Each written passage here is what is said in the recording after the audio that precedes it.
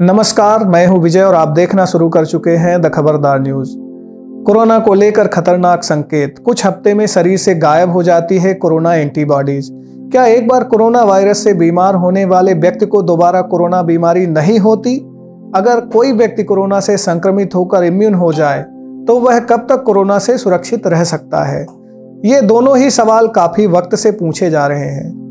लेकिन medical expert अब तक इस सवाल का कोई ठोस जवाब नहीं दे पाए हैं। अब एक बड़ी स्टडी में चौंकाने वाली जानकारी सामने आई है।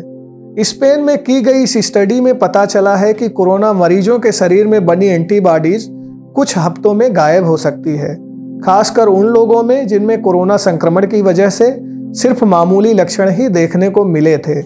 यानी वो लोग जो कोरोना से संक्रमित तो हुए थे, लेकिन हल्के तौर पर ही बीमार पड़े। उनमें इम्यूनिटी डेवलप होती है और कुछ हफ़्ते में गायब भी हो जाती है।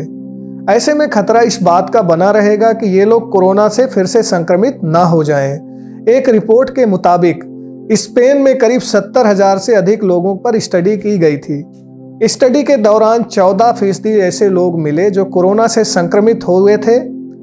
उनके अंदर कोरोना एंटीबॉडीज डेवलप हुई और बाद में, लगभग दो महीने बाद जब जाँच की गई तो उन, उनके शरीर के अंदर एंटीबॉडीज नहीं मिली। खासकर ऐसा हल्के लक्षण वाले लोगों में देखा गया। स्टडी का नेतृत्व करने वाले डॉक्टरों में शामिल स्पेन के हेल्थ इंस्टीट्यूट के डायरेक्टर रकील योती ने कहा, इम्यूनिटी अधूरी भी हो सकती है, इम्यूनिटी अस्थायी भी हो सकती है। यह कम समय के लिए हो सकती है और गायब भी हो सकती है। हम सबको खुद सुरक्षित रहना चाहिए और दूसरे लोगों को भी कोरोना से सुरक्षित रहने में मदद करनी चाहिए।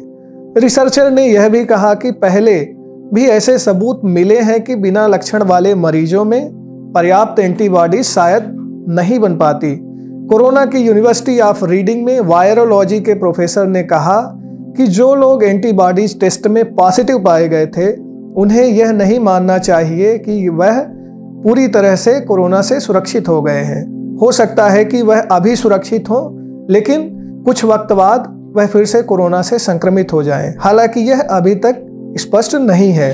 वहीं इस स्टडी में यह बात भी सामने आई कि कोरोना से बुरी तरह प्रभावित स्पेन के पाँच दशमलव दो प्रतिशत लोगों में एंटीबॉडी डेवलप हुई है। लेकिन यह भी कहा जा रहा है कि कोरोना के खिलाफ नेचुरल तरीके से हर्ड इम्यूनिटी हासिल करना शायद संभव नहीं होगा। वहीं जिनेवा के centre for emerging viral diseases की प्रमुख इजाबेल इकरले और जिनेवा यूनिवर्सिटी के स्टडी के नतीजों से पता चला कि प्राकृतिक रूप से हर्ड इम्यूनिटी हासिल करना न सिर्फ़ काफ़ी अनैतिक होगा, बल्कि यह असंभव भी होगा। कोरोना पर इस खास रिपोर्ट को देखने के लिए धन्यवाद।